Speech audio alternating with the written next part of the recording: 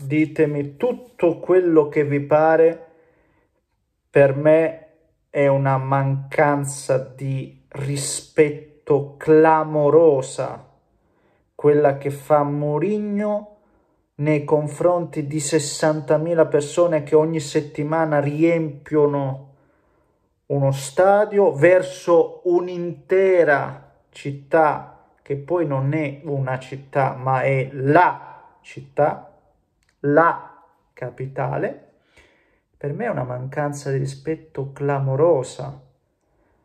Nel momento dove devi dare un segnale anche verbale, visto che sul campo non ci riesci, non ti presenti, non ti presenti, non dai nessuna motivazione, che sia giustificazione, che sia proclama, non dai, non dai nulla a nessuno ai tuoi tifosi, agli appassionati di calcio oppure anche semplicemente a chi paga un abbonamento. È qualcosa di gravissimo, signori miei, è qualcosa di inconcepibile, anche perché leggevo in Serie A, la prima volta lo puoi fare tranquillamente, non vieni neanche multato. Cioè, a, me, a me pare che se non pago l'abbonamento da zona io non lo vedo, non è che mi dicono no, hai poi, poi rimane connesso per un altro mese e poi se continui a non pagarlo ti, ti sbattiamo fuori. No, no, no. Quindi anche a termini di, anche sul regolamento ci sarebbe da dibattere, da discutere, ma al di là dei cavilli no, a cui potrebbe appellarsi Mourinho e che cerca di sfruttare a proprio piacimento, io questo lo trovo, lo trovo un autogol. Lo trovo un autogol perché è peggio è quasi peggio, veramente quasi peggio dell'andare lì a sbraitare contro gli arbitri, almeno dai un segnale, eh, si, parlerà, si, parla, si, si sarebbe parlato di un Murigno no? che cerca di, eh, come al solito, ehm, eh, sbrogliare la matassa parlando di altro piuttosto che non si parli della partita, perché della partita c'è veramente poco da dire se si valuta la prestazione della Roma perché per me c'è un abisso tra Pioli e Mourinho. C'è un abisso tra Pioli e Mourinho perché il primo, quando le cose vanno male, ti spiega il motivo per cui ha cambiato modulo, ti spiega cosa vuole dai propri giocatori, ti spiega cosa non va e si prende anche le dovute responsabilità. Se poi le cose vanno bene, come ieri, ti spiega anche il movimento di Calabria, ti parla di calcio, ti parla di spazi, ti parla di tutto ciò.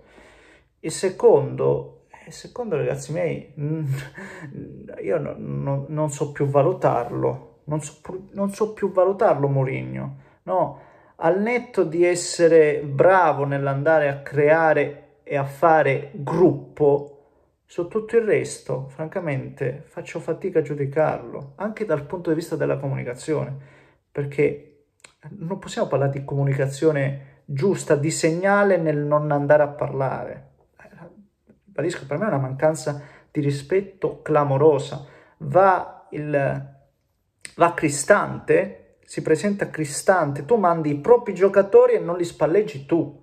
Cioè, è anche veramente una cosa, cioè, una cosa che, per, ah, giuro, sta cosa mi, mi, fa rabbia perché io dopo la partita, dopo la partita ero proprio curioso cioè da, da, appassionato di calcio, da spettatore, da, da, persona che paga l'abbonamento a Dazon, ero curioso.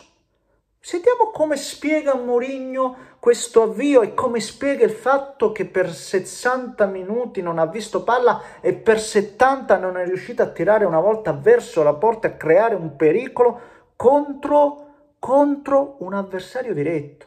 Ragazzi, ai nastri di partenza, Milan, Roma, stesso obiettivo, eh? Entrare tra le prime quattro, non è che bisogna nascondersi, eh? non è che adesso bisogna ammucciarsi, no, no, stesso obiettivo, entrare almeno, obiettivo minimo, entrare nelle prime quattro.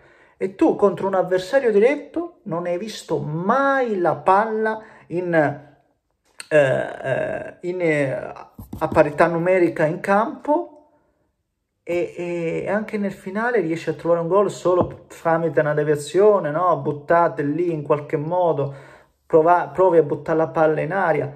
Eh, cioè, oggi vedi una squadra che doveva dare un segnale, il segnale non l'ha dato, L'allenatore invece il segnale che sta dando è quello di cercare di, non lo so, quale, quale, può essere un vantaggio? Qual è il vantaggio del non presentarsi nel... Qual è il vantaggio?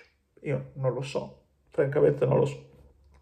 Quello che posso dirvi è che eh, poi non si presenta perché è arrabbiato per l'arbitraggio. Ragazzi, a termine del regolamento, andatelo a leggere il regolamento. Il rigore è tutta la vita.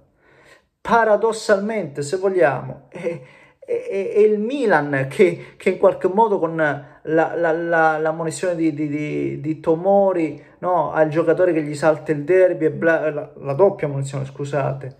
E quindi io francamente resto basito e non credo, nonostante sia visto come un re, come il padre di tutti noi a Roma, non credo che quest'anno i tifosi continueranno a, eh, a idolatrarlo eh, allo sfinimento se poi saranno questi i risultati. Magari, attenzione, siamo all'inizio, riprenderà in pugno la squadra perché ha dei giocatori che, ragazzi miei, sono forti. Cioè, eh, Lukaku, l'abbiamo visto, no? È entrato alla panchina. Lukaku è uno che se ce l'hai in condizioni normali, non dico, eh, ma in condizioni ti fa la differenza come come in qualche modo già aveva dato dei segnali in questa, in questa partita qua. Quindi i giocatori ci sono, i giocatori, i giocatori ci sono, ci sono poche, ci sono poche attenuanti quest'anno, no? L'anno scorso no? ce l'aveva con la proprietà, no? Ma io sono anche troppo per la Roma, faccio anche troppo, sono troppo, sono stanco di essere troppo. Poche chiacchiere, poche chiacchiere perché una proprietà come quella dei Friedkin a costo di, no, di, di non guardare neanche il bilancio, perché poi si parla di fair play finanziario o altro, no? che deve, doveva e deve stare attenta. Eh, la Roma è quella che, che, ha fatto i colpi più lustri nelle ultime stagioni. Cioè la Roma è quella che una, un anno dietro l'altro ha tirato fuori gli, gli, acquisti almeno sulla carta a livello di nome migliori. Cioè prima Mourinho, poi Dybala, poi Lukaku. Cioè, quindi di, di che stiamo parlando? C'è poco, da, c'è poco da lamentarsi, c'è da rimboccare le mani. C'è un abisso, c'è un abisso tra Mourinho e Piole. Piole perché? Perché parla di calcio. Cioè lo senti, lo ascolti Piole. Io voglio riportare questo passaggio che è fantastico. La posizione di Calabria, no? Che poi ha liberato spazi, no? Ha liberato lo sfogo di Love to Cheek. Cioè... Eh, come, come la spiega la, la, posizione da mediano di Calabria, che poi questa è una, è una guardiolata? Eh, ma, ma, c'è chi studia chi rimane al paleolitico, no? C'è chi studia chi rimane al paleolitico. Come la spiega? Vogliamo costruire con Megnan più altri 5 giocatori, te lo dice chiaramente. Poi che sia un 4 più 1, no? Un 4 più 1, oppure un 3 più 2 o un 2 più 3, è uguale ma si tratta di voler costruire con quelli, con quelli da dietro. Ormai i ragazzi sanno leggere gli spazi e sanno come escono gli avversari. Oggi Calabria è andata a centrocampo più interno e abbiamo lasciato più possibilità a Teo di leggere gli spazi. Altre volte il contrario, e l'abbiamo visto. E questo è, questo è parlare di calcio e spiegare il calcio, ti spiega i movimenti che vuole da Leao, quelli che fa correttamente, fa tutto questo dopo le partite, senza nascondersi, senza problemi, cioè non è peccato parlare di calcio, eh? non lo è. E quando le cose non funzionano, un allenatore deve dare delle spiegazioni, lo deve fare.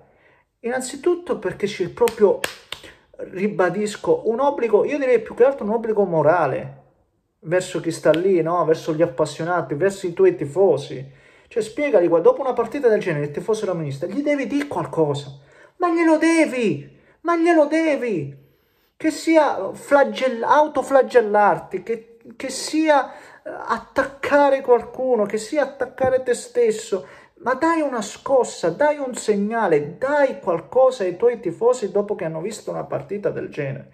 Perché io non lo so, oggi un tifoso romanista come possa sentirsi. Eh, cioè, Se ti, ti, trovi dopo tre giornate, dopo solo tre giornate a otto punti, ripeto, da un avversario diretto, poche chiacchiere, poche storie. E tu contro Milan all'Olimpico non hai visto palla. Cioè, ribadisco, per me una mancanza di rispetto clamorosa. Sì. Un grande abbraccio da Neschio.